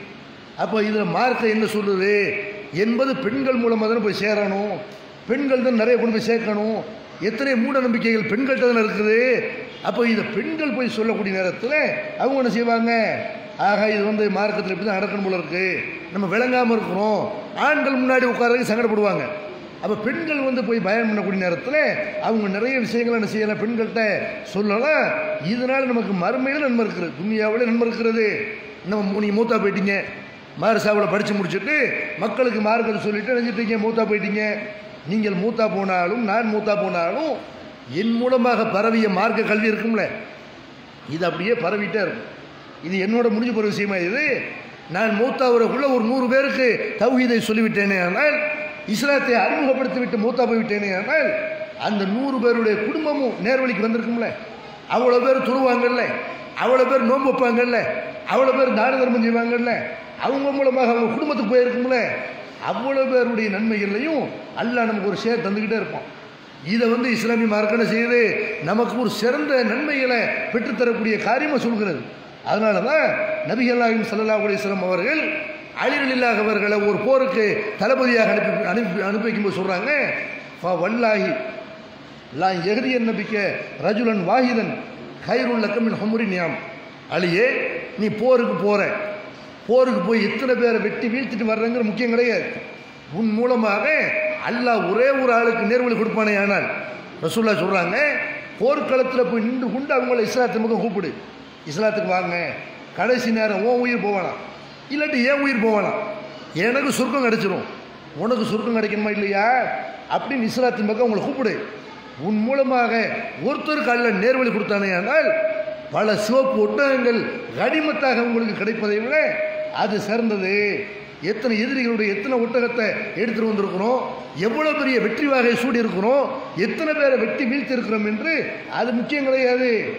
உன் மூலமாக ஒருத்தர் நேர்வழிக்கு வர்றதுனா உனக்கு நிறைய தர்ஜாவை மறுமையில் பெற்றுத்தரும் என்று அல்லாவுடைய தூதர் சொன்னாங்களே அந்த ஒரு அழைப்பு பணியை என்ன செய்யணும்? இங்கே படித்து பட்டம் பெறக்கூடிய மாணவிகள் தங்களுடைய வாழ்நாள் முழுக்க செய்யணும். தங்களுடைய குடும்பத்தில் உள்ளவங்களை சொல்லணும். தெருவில் உள்ளவங்களுக்கு சொல்லணும். பயான்களுக்கு சென்று என்ன செய்யணும்? மக்களுக்கு சொல்லணும். இதையும் வந்து நீங்கள் கடைபிடிக்க வேண்டும். அதே மாதிரி வந்து மேடையில் இந்த மாதிரி சில பேசக்கூடிய சில பேர் என்ன செய்கிறாங்கன்னு கேட்டால் அவர்கள் மேடையில் பேசுகிறதே ஒரு கௌரவமாக நினைக்கிறாங்க. நமக்கு ஒரு மேடை வேணும் நமக்கு ஒரு மைக்கு வேணும் அப்படிங்கிறக்காக வேண்டி சில பேர் பேச்சிலிருந்து சுத்தமாக ஒதுங்கி போயிடுறாங்க. அவர்கள் பிரச்சார பணியில் என்ன செய்யணும்? களமிறங்கி பிரச்சார பணியை செய்யணும். சில பேர் பிரச்சாரம் பண்ணுறோங்கிற பெயரில் யார் மேடைக்கு அழைத்தாலும் அவங்க என்ன குழுகள் இருக்கிறாங்களோ பார்க்குறது இல்லை. எல்லா மேடைக்கும் போகிறோம் எனக்கு தேவை மேடை எனக்கு தேவை விளம்பரம் எனக்கு தேவை மைக்கு இப்படி என்ன செய்கிறாங்க புகழுக்கும் மரியாதைக்கும் மக்கள்கிட்ட இருந்து வரக்கூடிய அந்த பாராட்டுகளுக்கும் மயங்கி எல்லா மேடைகளும் ஏறதை பார்க்குறோம். அப்போ இது சரியான அணுகுமுறையா உங்களை ஒரு தடவை அழைப்பார்கள். ஒரு கூட்டணி செய்வாங்க. குரான் குர்ஆன் தான் நம்ம இஸ்லாத்துடைய பேசிக்குன்னு மக்கள்கிட்ட சொல்லிக்கிட்டு இருக்கிறோம். இதைத்தான் நீங்கள் மாதிரி சபையில் படிச்சிருக்கிறீங்க. இதை உடைக்கிற வகையில் ஒரு கூட்டணி செய்கிறாங்க குரான் ஹதீஸ் மட்டும் இஸ்லாம் இல்லை இஸ்லாம்ங்கிறது மதுகபுல உள்ளது தான் இஸ்லாம் அப்படிங்கிறாங்க. இஸ்லாம் ஒரு சகாபாக்களுடைய சொந்த கருத்துக்களும் அதுதான் இஸ்லாம் இப்படின்னு சொல்கிறாங்க இப்படி ஒவ்வொரு ஆளும் ஒவ்வொரு கொள்கையில் இருக்கிறாங்க. அவங்கள்ட்ட போய் அல்ல சில ஆள்கள் வந்து நினைச்சிருப்பாங்க தௌஹி ஜமாத்தால் நடவடிக்கைக்கு உள்ளாகி இருப்பாங்க. அவங்க என்ன செய்வாங்கன்னு கேட்டால் அன்றாட அவங்களுடைய பிரச்சார பணி தொண்ணூத்தொம்பது சதவீத பிரச்சார பணி காலையில் எந்திரிச்சா இரவில் தூங்கினா எல்லா நேரத்துலையும் தவுஜமாத்த கழிவு ஊத்துறது தான் அவங்களுடைய பிரச்சார பணியாகவே இருக்கிறது. அப்போ அந்த மாதிரியான ஆளுக பயன்களுக்கு அழைப்பார்களே ஆனால் நம்ம போய் அவங்களுக்கு விளம்பரம் தேடி தரலாமா? நம்ம போய் அவங்களுக்கு ம மக்கள்கிட்ட அவங்களுக்கு ஒரு இடத்த வாங்கி கொடுக்கலாமா? நம்ம அவங்களுடைய தீமையான காரியங்களுக்கு உதவி அளிக்கலாமா? அப்போ அவங்க வந்து நம்முடைய ஜமாத்தை பற்றி விமர்சிக்கிறார்கள். தேவையில்லாமல் அவதூறு சொல்கிறார்கள்னு தெரியுது. இவர்கள் வந்து ஒரு மேடை வேணுங்கிறக்கா வேண்டி ஒரு லெட்டர் பேட் வேணுங்கிறக்கா வேண்டி அவங்கள ஒரு இயக்கம் நடத்தி மக்கள்கிட்ட வசூல் செய்ய வேண்டும் என்பதற்காக வேண்டி இவர்கள் இந்த மாதிரி இருக்கிறாங்க. இதுக்கெல்லாம் நம்ம போய் என்ன செய்யக்கூடாது? உதவி செய்யக்கூடாது என்பதில் தெளிவானவர்கள் என்ன செய்யணும்? நீங்கள் இருக்கணும் அதையும் தெரிஞ்சுக்கிறணும். அதே மாதிரி வந்து மார்க்கத்தை படிக்கக்கூடிய நீங்கள் எதை நம்ம படிக்கிறோமோ அதை நம்முடைய வாழ்க்கையில் நடைமுறைப்படுத்தணும். படித்தா மட்டும் நம்ம ஆலிமாவோ ஆலிமாவாகவோ ஆயிட முடியாது. ஆலிம்ட யாரு? சில ஆலிம்கள் சில ஆலிமாக்கள் புதி சுமக்கிற கழுதைகளாக கூட இருப்பார்கள். வெறுமனே நிறைய கித்தாபு சில பேர் செய்வாங்க? சில உடமாக்கள்கிட்ட போய் மார்க் அறிஞர்கள்ட்ட நம்ம போய் கேள்வி கேட்குற நேரத்தில் அவங்க நம்மகிட்ட திரும்பி கேட்பாங்க. நீங்கள் எந்த மார்சலை ஓதுனீங்க? உங்களுக்கு அரபி தெரியுமா? குரான் ஓத தெரியுமா? எதுக்கு அதெல்லாம் கேட்குறீங்க? நான் எங்கே ஓதுனேன் தெரியுமா? பெங்களூர் காசிபுடுதால ஓதுனேன். அந்த மாதிரி சில காசிமியாவில் ஓதுனேன். இங்கே அஞ்சு வருஷம் அங்கே ரெண்டு வருஷம் எத்தனை வருஷம் ஓதுனேன் என்ன? கேட்ட கேள்விக்கு உனக்கு ஆன்சர் தெரியுதா? அதான் முக்கியம். சரியான ஆன்சரை குரானேஸ்லேருந்து நீங்கள் சொல்கிறீங்களா எதுக்கு உங்கள் விளம்பரம் எங்களுக்கு இருக்குது ஏன் உங்களையே விளம்பரம் பண்ணுறீங்க இப்படி நம்ம நினைப்போம். அப்போ அந்த மாதிரி என்ன செய்கிறாங்கன்னு கேட்டால் அவர்கள் வந்து நிறைய படித்திருக்கிறார்கள். ஆனால் சரியான செய்தியை மக்களுக்கு சொல்கிறாங்களான்னு கேட்டால் சொல்கிறது இல்லை. இந்த குரான் அல்ல சொல்லுகிறான் இன்னமா எகுசல்லாகும் இன் இபாதியில் உலமா.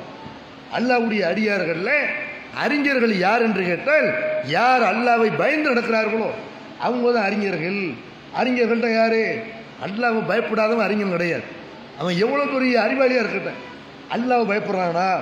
வாழ்க்கையில் அவனுக்கு இரையச்சம் இருக்கிறதா? இதைத்தான் அல்ல பார்க்குறானே தவிர அவர் அறிவாளி அவர் அறிஞர் எவ்வளோ தியாகம் பண்ணார்? இது அல்ல பார்க்கவும் மாட்டான். எத்தனை வருஷம் மாரிசனுக்கு ஓதுனாரு? இது அல்ல பார்க்கவே மாட்டான். அப்போ எதை நம்ம மக்கள்கிட்ட சொல்கிறோமோ அது நம்முடைய வாழ்க்கையில் இருக்கணும். மாரிசாவில் நீங்கள் படிச்சிருக்கிறீங்க.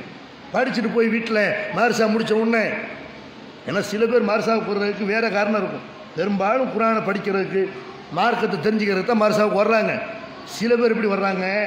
வீட்டில் இருந்தால் ஒரே தொல்லையாக இருக்குது காய்கறி நறுக்க சொல்கிறாங்க சோறாக்க சொல்கிறாங்க வீடு கூட்ட சொல்கிறாங்க அப்படி வந்திருக்கல யாரும் அந்த மாதிரி சில பேர் செய்ய- ரொம்ப விரல் விட்டு எண்ணக்கூடிய அப்படி பெரும்பாலும் வந்திருக்க மாட்டாங்க. ஆனால் என்ன செய்கிறாங்க நல்லது நினைக்கிறாங்க. மார்சாவுக்கு போயிட்டால் நிம்மதி. எப்போ மார்சா திறப்பீங்க லாக்டவுன் எப்போ முடியும்? வீட்டில் ஒரே தொல்லையாக இருக்குது. இப்படி நினைக்கிற பெண்கள்லாம் இருக்கிறாங்க. அப்போ அந்த மாதிரி வந்து வந்திருக்கக்கூடியவர்களுக்கு அவங்களுக்கு அதுதான் கிடைக்கும். ஒரு ஒரு ஒரு ஜாலி ஒரு அரட்டை ஒரு பொழுதுபோக்கு அதுதான் கிடைக்கும்.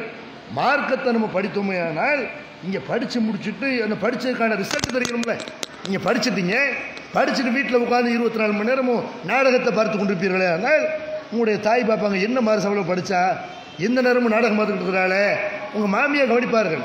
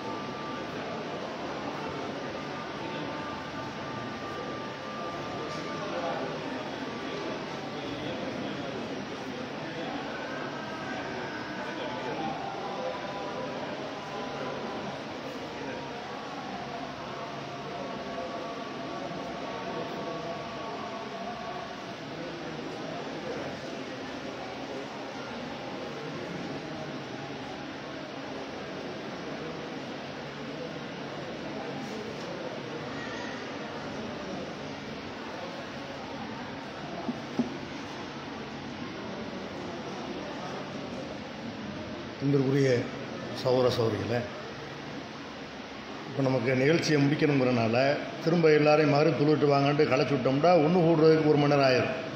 திரும்ப ஒன்று சேர்க்குறதுக்கு. அதனால் நம்ம நிகழ்ச்சியை முடிச்சுட்டு இன்ஷால்லாம் மகரிபிஷா வந்து நம்ம சேர்த்து உழுதுக்கிறோம் என்றைக்காவது ஒரு நாள் உள்ளூரில் வந்து ஜம்மு செய்து கொள்வதற்கு மார்க்கத்தில் அனுமதி இருக்குது. அதனால் நம்ம என்ன செய்வோம் இஷாவுக்கு முன்னாடி முடிஞ்சிருச்சுண்டா அப்போ மகரிபை தொழுதுருவோம். அப்படி இல்லைண்டா இஷா நேரத்தில் நம்ம மகரிப் இஷாவை சேர்த்து உழுதுக்கிறோம் சார் அப்போ அந்த மார்க்கத்தை படித்து விட்டு மருசாவில் ஓதிவிட்டு எந்த நேரம் போய் டிவியில் உட்காந்து கொண்டு நாடகத்தை பார்க்குறது சினிமா பார்க்குறது சில வீடுகளில் சண்டையெல்லாம் நடக்குது ரிமோட்டுக்கு சண்டை நடக்கும். இதில் ஆலிமாக்கள் சண்டை பிடிக்கலாமா? தூக்கி போட்டுறணும் இது என்ன சினிமாங்கிறது நம்மளை வழிகெடுக்கக்கூடியது. அதில் நடிக்கக்கூடிய கதாநாயகிகள்லாம் பெரும்பாலும் செய்கிறாங்க இல்லை நிறைய பேர் விபச்சார வழக்கில் கைது செய்யப்படுகிறார்கள். ஒரு கேடு கெட்டவர்கள் வந்து அதில் நடிக்கிறார்கள்.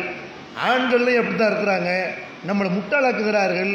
இதுக்கு போய் பெரிய அளவுக்கு முக்கியத்துவம் கொடுத்து எல்லா வேலையும் விட்டு விட்டு அப்படி இருக்க வேண்டிய தேவையில்லை. ஏதோ என்னைக்காவது ஒரு நாள் பொழுதுபோலுங்கிறக்காக வேண்டி ஒரு வீடியோ பார்ப்பது வேறு. அதே நேரத்தில் அதுவே கதி. அதை நம்முடைய வாழ்க்கையில் எல்லா நேரமும் இதை நம்முடைய லட்சியங்கிற மாதிரி என்ன செய்கிறாங்க சில பேர் எழுந்ததுலேருந்து தூங்குற வரைக்கும்.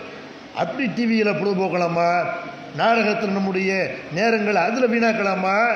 இந்த நேரங்களில் நீங்கள் பயானுக்கு குறிப்பிடக்கலாம். இந்த நேரத்தில் என்ன செய்யலாம்? நம்முடைய பொழுதுகளை வீணாக கழிப்பதற்கு பதிலாக நமக்கு கிடைச்ச நேரத்தில் என்ன செய்வோம்? எல்லா நேரத்திலும் வேலை பார்த்துக்கிட்டு இருக்கிறோம். ஏதாவது ஒரு தலைப்பில் குறிப்பிடுத்து வச்சுருவோம். ஒரு விவாதத்தினுடைய வீடியோ பார்ப்போம். ஒரு பயான் வீடியோ பார்ப்போம். என்று நம்முடைய கவனத்தை வேறு பக்கம் என்ன செய்யணும்? நம்ம திருப்பணும்.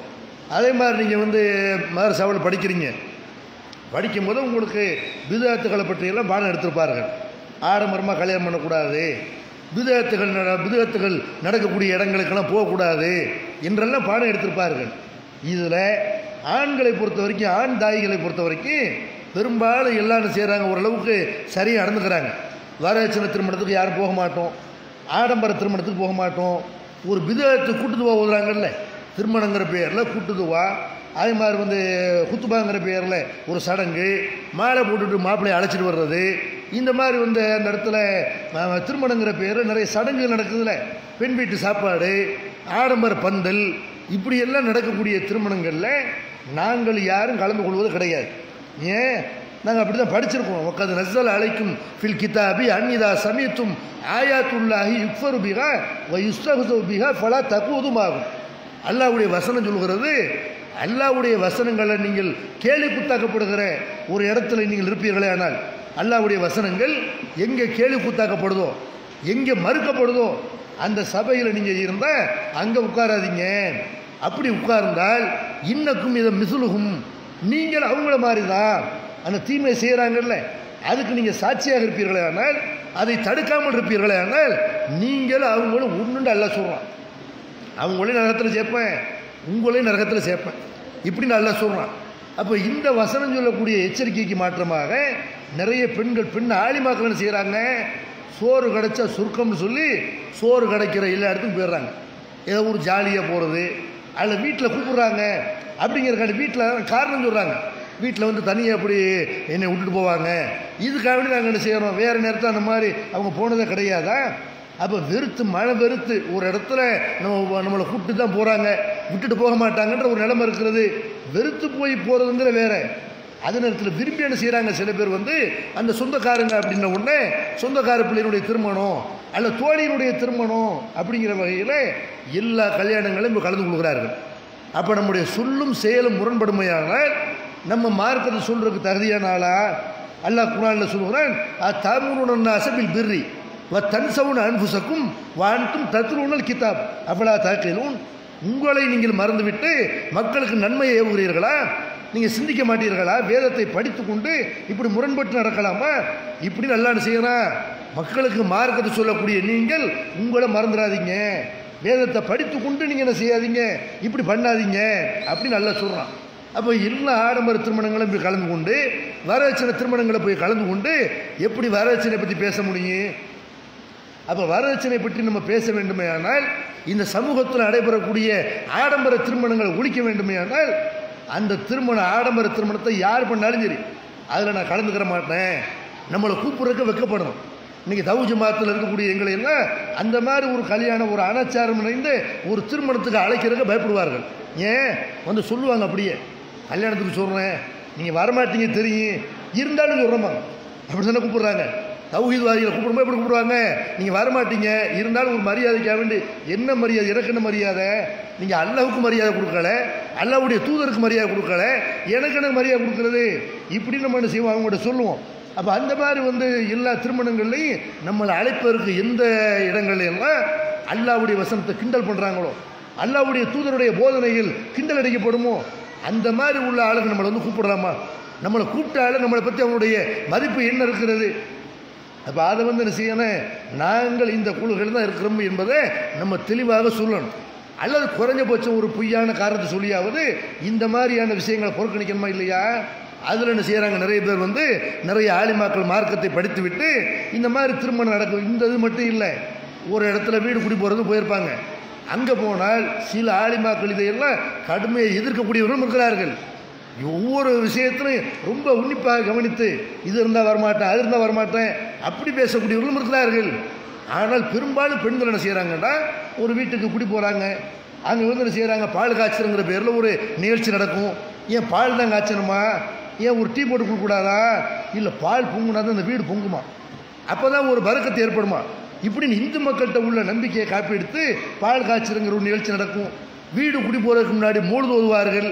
வீடு குடி போகிறதுக்கு முன்னாடி குரானை ஓதி தொழுகை நடத்தி அப்படி இல்லை விதத்துகள் மார்க்கத்தில் இல்லாத விதத்துக்களை எல்லாம் செய்து ஒரு வீடு குடி போகிற நிகழ்ச்சி என்று அழைப்பார்கள். இதெல்லாம் இருந்து வரமாட்டேன். வீடு குடி போகிறது என்றால் மார்க்கத்தில் விருந்து கொடுப்பதற்கு அனுமதி இருக்கிறது. குரான் ஓத சொல்லி யார் சொன்னது? டெய்லி ஓதுங்க. அந்த வீடு திறக்கிறதுக்கும் குரான் ஓதுறதுக்கும் என்ன சம்மந்தம் இருக்குது வீடு திறக்கிறதுக்கு அன்றைக்கு காலையில் தொழுவதற்கு என்ன சம்மந்தம் இருக்குது டெய்லி தொழுவுங்க. வீடு திறக்கிறது என்ற பெயரில் மூணு ஓதுனாலும் தப்பு தான் குரான் ஓருங்கிற பேரில் நீங்கள் ஒரு சடங்கு செஞ்சாலும் தப்பு தான் என்று இதையெல்லாம் அந்த மக்கள்கிட்ட விளக்கி சொல்லி இந்த மாதிரி விதத்துக்கு நடக்கிற இடத்த புறக்கணிக்கமா இல்லையா மூழுது ஓதுறாங்க அல்லது இறந்து போனவர்களுக்காக வேண்டி கத்தஞ்சாப்பாடுன்னு கூப்பிடுறாங்க வர முடியாது. புள்ள வயசு கொண்ட தண்ணி ஊற்ற போகிறோம் இப்படின்னு வர்றாங்க. இதுக்கெல்லாம் ஒரு நிகழ்ச்சி தேவையில்லை. கத்னாவுக்குன்னு அழைக்கிறார்கள். இதெல்லாம் நிகழ்ச்சியை நடத்தக்கூடாது இதெல்லாம் ரகசியமாக நடத்தப்படணும். என்று இந்த இதுக்காக வேண்டியெல்லாம் அல்லாவுடைய தூர காலத்தில் ஒரு நிகழ்ச்சி நடத்தப்பட்டது கிடையாது. மக்கள் அழைக்கப்பட்டது கிடையாது. விருந்து உபசாரங்கள் நடைபெற்றது கிடையாது. இதெல்லாம் விதத்தான விருந்து என்று புறக்கணிக்கணுமா இல்லையா? ஆனால் எல்லாத்துலேயும் என்ன செய்கிறாங்க கலந்துக்கிறாங்க. இதை மார்க்கம் படிக்கக்கூடியவர்கள் நீங்கள் மாரசாவில் வந்து போகக்கூடிய நீங்கள் என்ன செய்யணும்? இதை கடைபிடிக்கணும். அதே மாதிரி வந்து மாரசாவில் நம்ம படிச்சிட்டோமா நம்ம எப்படி மக்களுக்கு பயன் பண்ணுறோமோ அதை மாதிரி நம்முடைய வாழ்க்கையை அமைச்சிக்கிறோம் நிறைய ஆலிமாக்கள் நீங்கள் பார்த்தீங்கன்னா எந்த தொழுகையுமே தொழுவுறது இல்லை. மாரசாவில் ஓதும்போது தான் கம்ப்ளைண்ட் வரும். மாரசாவெல்லாம் ஓதுற நல்லா படிக்கிற விடிய விடிய படிக்குது. ஆனால் துழுக மாட்டேங்குது. இப்படிங்கிற கம்ப்ளைண்ட் நீங்கள் ஓதும்போது வந்துச்சுல இன்னும் நீங்கள் பயன் பண்ண ஆரம்பித்த பிறகு அல்ல ஓதி முடித்த பிறகு அப்போ கூட நம்மகிட்ட துழுக வரவில்லைன்னு சொன்னால் மாரசா நம்மிடத்தில் இந்த மாற்றத்தை ஏற்படுத்தணும்னு அர்த்தம். அப்போ துளுகை என்ற ஒரு வணக்கத்தை என்ன செய்யணும் நம்முடைய வாழ்க்கை நடைமுறைப்படுத்தணும். குறிப்பாக சுபு துளுகை நீ மாமியார் வீட்டுக்கு போய் கல்யாணம் பண்ணி போன பிறகு ஒரு எட்டு மணி பத்து மணிக்கு எந்திரிச்சின்னு வைங்க. அதை அவங்க ஏற்றுக்கொள்வார்களா சுபுவுக்கு நம்ம எந்திரிச்சு பழக்கப்பட்டால்தான் அது பிற்காலத்தில் நமக்கு உதவியாக இருக்கும். அப்போ நம்முடைய லைஃப் ஸ்டைலை மாற்றி என்ன செய்யணும் பத்து மணி பன்னெண்டு மணி வரைக்கும் தூங்குற அந்த நிலைமையெல்லாம் மாற்றி ஏன்னா சில பேர் வேலை இல்லைன்னு தூங்குறத வேலை நினச்சிக்கிறாங்க. ஒரு வேலை இல்லைன்னு வைங்களேன் மாரசை இல்லை பள்ளிக்கூடம் இல்லை அப்போ வேலை இல்லைட்டு என்ன செய்யறது? நல்லா தூங்குவோம். பன்னெண்டு மணிக்கு நம்ம தானே சாப்பிட போகிறோம் எத்தனை மணிக்கு வேணாலும் எழுந்திரிச்சு எத்தனை மணிக்கு வேணாலும் சாப்பாடு ஆக்கி எத்தனை மணிக்கு வேணாலும் திரும்பி தூங்கலாம். இப்படி போயிட்டு இருக்கு பொழுது. லாக்டவுனில் எல்லாம் தூங்கி தூங்கி என்ன செய்கிறாங்க நல்ல பொழுது எல்லாம் தூங்கி கழிப்பவர்கள் நாட்டை கெடுத்தவுடன் தானும் கெடுத்து கெட்டு போயிட்டான்னு பாட்டு பாடுவாங்க பாருங்கள் அந்த மாதிரி சோம்பேறிகளாக ஆண்களும் பெண்களும் மாறிக்கொண்டிருக்கிறத பார்க்குறோம். அப்போ எவ்வளோ அந்த ஃப்ரீயாக நேரம் கிடைக்குதா? சுப்புக்குள்ள எழுந்துறீங்க குரானை மனப்பாடம் பண்ணுங்க. மாரசாவில் கொஞ்சம் தான் படிச்சிருக்கிறோம். ஒரு ஜூஸு தான் உங்களுக்கு மனப்பாடத்துக்கு. ஒரு ஜூஸாக இல்லை ரெண்டு ஜூஸ் சொல்லியிருப்பாங்க. இன்னும் நிறைய இருக்குது முப்பத்தெட்டு ஜூஸு நமக்கு இருபத்தெட்டு ஜூஸ் இருக்குது. அப்போ அவ்வளவு என்ன செய்யணும்? நம்ம வந்து மனப்பாடம் பண்ணுண்டு அதுக்கு முயற்சி பண்ணுங்கள் நிறைய ஹரிசுகள் ஒரு ஐம்பது ஹதீஸ் மா மாரசாவில் ஐம்பது நூறு ஹரிஸ் மனப்பாடம் பண்ணியிருப்பீங்க இன்னும் நிறைய படிக்க வேண்டியிருக்கிறது. அப்படின்னு அதில் நேரத்தை செலவிடுங்க. அப்போ இப்படி வந்து என்ன செய்யணும்? வணக்க வழிபாடுகளில் உங்களுடைய கவனத்தை நம்ம செலுத்தணும். அதே மாதிரி வந்து அந்த நம்ம பய மக்களுக்கு நீங்கள் பயன் பண்ணக்கூடிய நிலைமையில் அதில் ஓதியவர் என்ற ஒரு பேரோடு இருக்கிறீங்க. அந்த மாதிரி நீங்கள் வெளியே வரக்கூடிய நேரத்தில் இப்போ மதரசாவில் எல்லாம் உங்களுக்கு சட்டம் சட்டம் போட்டிருப்போம். மதரசாவுக்கு நீங்கள் வரும் பொழுது கருப்பு ஷால் தான் போடணும் கருப்பு புர்க்கா தான் போடணும் இப்படியெல்லாம் சட்டம் சொல்லியிருப்பாங்க. எதுக்காக வேண்டி? மதரசாவிலேருந்து இதெல்லாம் சொல்லித்தரணும். எளிமையாகத்தான் வாழ வேண்டி என்பதை மாரசாவோட சொல்லித்தர்றதுக்கு தான் உங்களுக்கு அந்த மாதிரி வர சொல்கிறோம் மாரசா முடிஞ்ச பிறகு சில பேர் பார்த்தா ஆலிமாக்கண்டு வர்றாங்க அந்த புர்க்காவை பார்த்தாலும் அசிங்கமாக இருக்குது அதை பார்த்தாலும் ஆடம்பரமாக இருக்கிறது. அப்போ என்ன நீங்கள் ஓதுனீங்க? மாரசாவில் இதெல்லாம் உங்களுக்கு கற்றுத் தரலையா? வளா யுகுதியின சீனத்தை உன்ன இல்லா மாலகரமின்கா சாதாரணமாக வெளியே தெரியக்கூடியதை தவிர எந்த அலங்காரத்தையும் வெளிக்காட்டக்கூடாதுன்னு நல்லா சொல்லும் பொழுது எப்படி ஜிகு ஜிகுன்னு புர்கா போட்டு இப்படி வெளியே வர்றது? எப்படி வந்து அந்த அலங்காரத்தை எப்படி காட்டுறது? அப்போ அலங்காரத்தோட வெளியே வர்றது டைட்டான புர்கா போடுறது இதெல்லாம் உங்களை வந்து ஒரு கெட்ட இமேஜ் ஏற்படுத்தும். இவங்க நல்ல பெண் இல்லை. இவங்கள்ட்ட வந்து ஒரு நல்ல பண்பாடு இல்லை. மார்க்கத்தை சரியாக அந்த பெண்ணை செய்யலை? இது மக்களுக்கு சொல்லுறது சரியாக நடக்கலை என்ற ஒரு கெட்ட இமேஜை ஏற்படுத்தும். சொல்ல மாட்டாங்க எல்லாருமே செய்ய மாட்டாங்க? உங்கள்கிட்ட நேரடியாக கேட்க மாட்டாங்க பின்னாடி பேசுவார்கள். ஆலிமாவா பயன் பண்ணுறாளா ஷாலை பாரு குட்டி ஷாலாக இருக்குது நெஞ்ச மறுப்பேருக்கு ஷால் போட சொன்னால் சில பேர் கழுத்தோட தான் ஷாலை போடுறது. கேட்டால் ஃபேஷன் அப்போ ஆலிமாவாக இருக்கக்கூடிய நீங்கள் என்ன செய்யக்கூடாது? இந்த மா பெரும்பாலும் இப்படி இருக்க மாட்டீங்க. அப்படி இருந்தால் அதை மாற்றிக்கொள்ளணும். மற்ற மக்களுக்கு நீங்கள் முன்மாதிரியாக இருக்கணும். உங்களை பார்த்து புர்கா எப்படி போட வேண்டும் என்று அனைவரும் தெரிந்து கொள்ளணும்.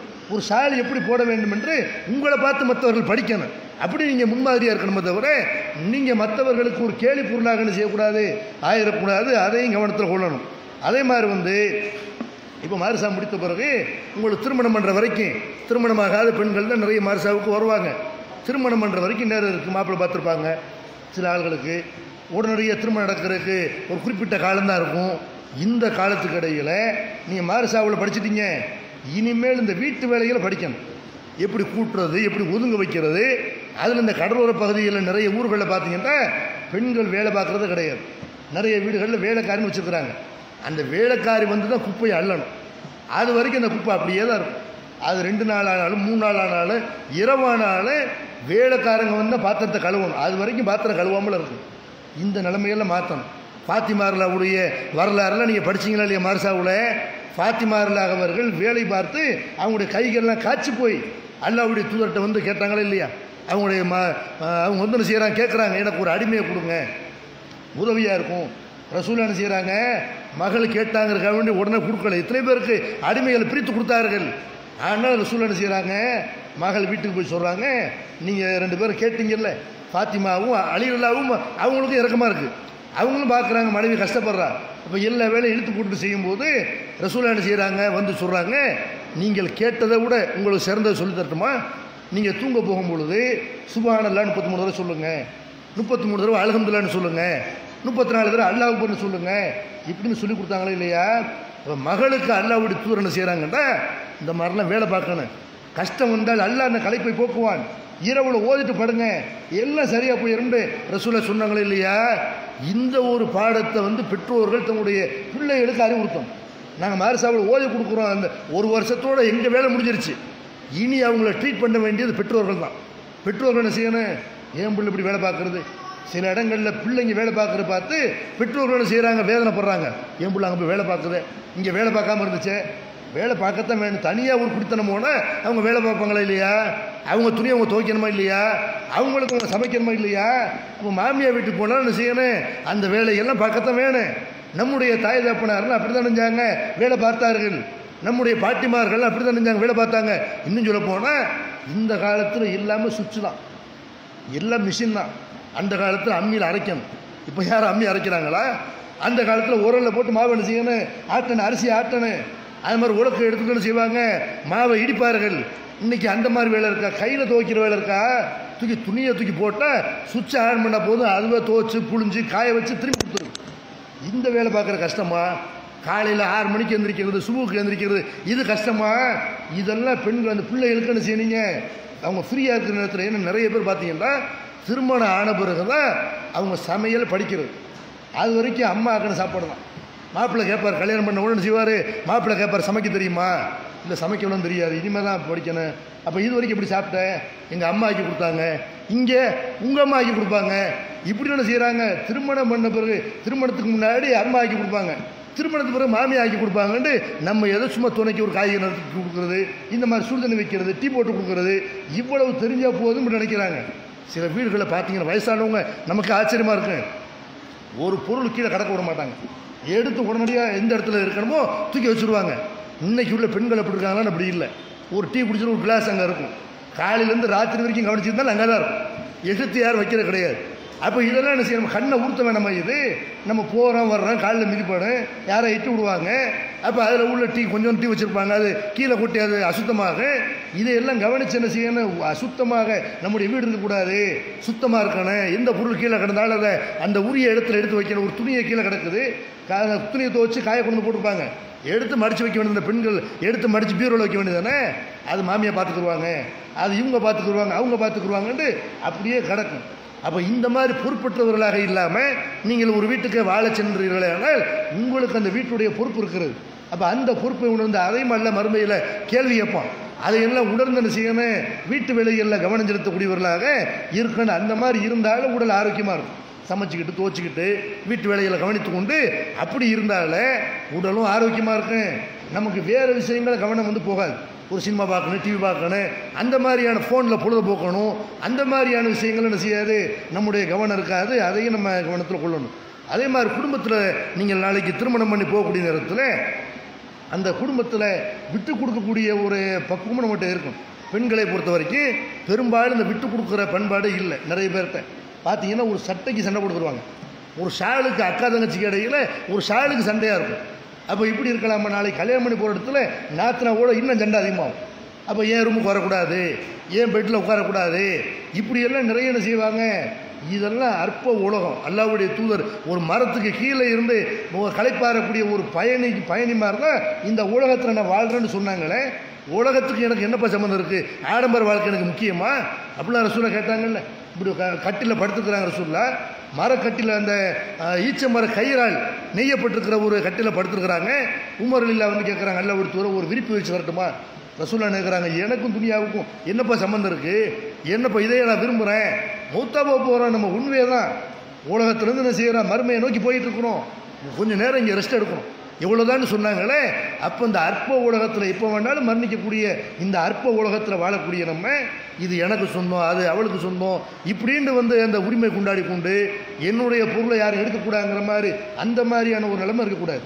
அல்லாவுடைய தூதர காலத்தில் வாழ்ந்த நபி தோழர்கள் நபி தோழியர்கள்லாம் தங்களுடைய சொத்துக்களை எல்லாம் கூட தங்களுடைய தோழர்களுக்கு கொடுக்க முன் வந்தாங்களோ இல்லையா? எவ்வளோ உதவி பண்ணாங்க முகாஜிர்களுக்கு அன்சாரிகள் எவ்வளோ உதவி பண்ணாங்க?